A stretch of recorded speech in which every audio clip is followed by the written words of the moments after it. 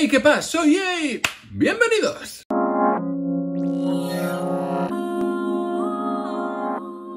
Muy buenas a todos chicos y chicas, bienvenidos a un nuevo vídeo aquí en Jay's Opinion y es que en esta semana que hemos estado pues abrumados con la cantidad de trailers de películas de superhéroes, estrenos de películas de superhéroes, series, etcétera, etcétera. Esta semana justamente ha sido la elegida para estrenar el primer episodio de la onceava y última temporada de The Walking Dead. Para muchos será un alivio porque ya estén hasta las narices y para otros como yo estarán apenados sabiendo que esta es la última temporada de una serie que ha plagado prácticamente los últimos 12 o 13 años de su vida. Pero bueno, con la cantidad de spin-offs y movidas que van a seguir sacando por ahí, la verdad es que me quedo bastante tranquilo, pero bueno, vamos a ello. El tema es que ayer se estrenó el capítulo 1, es decir, la primera parte del capítulo 1 de la temporada 11, 1, 1, 1, 1, 1, titulado, bueno, Acheron, Ancheron, Acheron, Acheron 1, Acheron, bueno. Acheron o Acheron parte 1, no sé exactamente a qué hace referencia, pero bueno, Imagino que en la parte 2 pues ya veremos más o menos por dónde van los tiros. Básicamente este primer episodio es para volver a ponernos en situación de cómo están los dos grupos de supervivientes protagonistas que están en escena en estos momentos. Por un lado,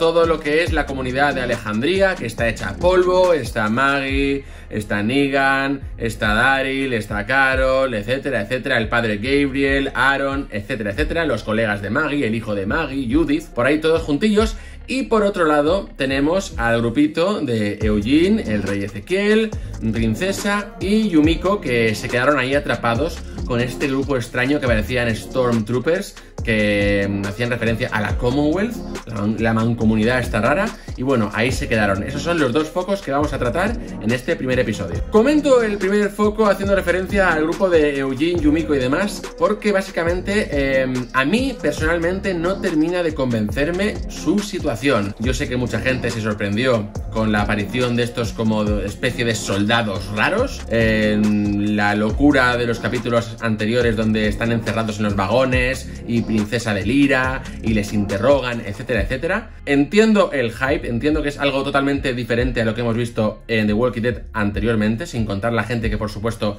haya leído los cómics, pero no terminan aún de engancharme mucho. En este capítulo pues vemos un poco sus procedimientos, pues interrogatorios, retenerles, luego les llevan a reciclar a los que no pasan el corte, no se sabe aún muy bien, nos presentan a uno de los jefecillos de este grupito que es el único soldado que lleva un uniforme naranja. Y poco más, básicamente siguen con esa duda de nos quedamos aquí, no nos quedamos, esperamos para arriba, para abajo, pero cuando empiezan a ver que el tema del reciclado es un poco chunguillo, dicen, eh, mejor nos piramos y luego ya vemos lo que hacemos. Hay un pequeño girillo de guion, un pequeño cliffhanger final en el cual Yumiko ve una carta puesta en un panel llena de fotos de gente desaparecida y parece ser que es una carta que deja a su hermana o alguien conocido y entonces cuando están a punto de escapar Yumiko dice que ella no puede pirarse, que tiene que quedarse. Eso lo dejan ahí, sinceramente no me corre prisa por saber qué es lo que pasa, ya lo veremos.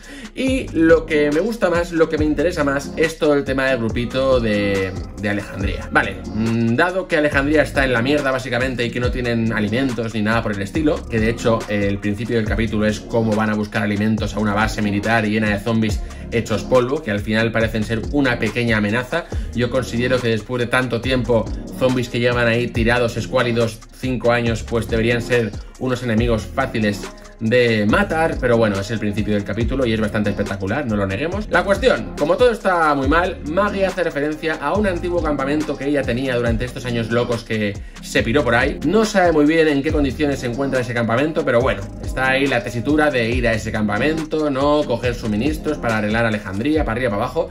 La verdad, explican el contexto, explican la misión, explican la motivación, pero yo creo que toda la gente eso nos va, mm, pues así, ni, ni fu ni fa, nos da igual. O sea, podrían haber ido a comprar churros, que lo importante, creo, es la relación entre Negan y Maggie, porque de hecho la temporada 10 acabó con un cruce de miradas de lo más intenso y de hecho es lo que más se enfatiza en el capítulo y a mí me flipa. Al final este grupo lo único que hace es que llueve un poco y dice, madre mía, nos vamos a calar un montón, vamos a meternos en el metro. Que seguro que es una opción espectacular meternos en un metro en la oscuridad en mitad de un apocalipsis zombie.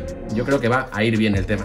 Se meten en el metro y bueno, ahí básicamente siguen unas vías, todo es muy tétrico, hay ruidicos ahí que les dejan todo locos y bueno, hay ciertas escenas con unos cuantos zombies en bolsas, que la verdad es que la escenografía está guapísima, pero nada mucho más relevante. Y bueno, el tema es que se deja ya entrever que esa tensión entre Negan y Maggie va en aumento. Yo he de decir que soy Team Negan 100%. A mí, de hecho, Maggie me la torra. No sé si lo he comentado alguna vez, pero es un personaje que a mí no me gusta mucho. Me parece bastante, pues eso, detestable en ciertos momentos. Y también entiendo que haya mucha gente que esté a favor de Maggie, pero yo soy de esos que, bueno. Que lo que hizo Negan no está bien. Está claro que todo el mundo quería a Glenn, pero siempre me pongo en el, digamos, en el puesto de la otra persona.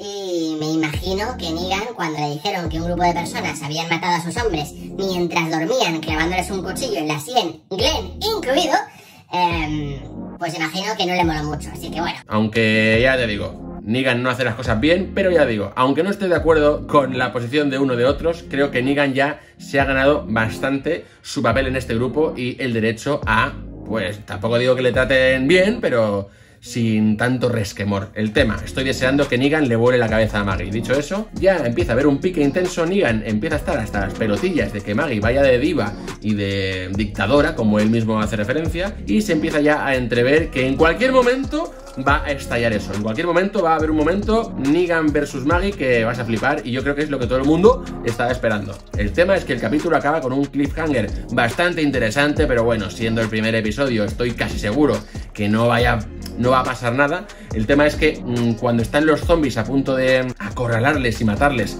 en el metro, consiguen escalar a lo alto de un vagón, escala Negan y la última persona que tiene que escalar justamente es Maggie y tiene complicaciones. La muchacha no sabe muy bien dónde poner las manos y demás y el capítulo acaba con Negan asomado y tomando la decisión, al menos en ese frame, de no ayudar a Maggie. Todo parece que Maggie se va a caer y ahí acaba el capítulo. Sinceramente, predicciones para el futuro. No estoy del todo seguro de que Negan se vaya a meter ya en problemas tan rápidamente. Yo creo que simplemente ha sido un efecto del cliffhanger y probablemente Negan reaparezca y termine ayudándola con un palo, con una cuerda, con algo. Y si no es así, creo que va a haber una tensión muy tocha porque sinceramente no creo que Maggie vaya a morir en esa escena.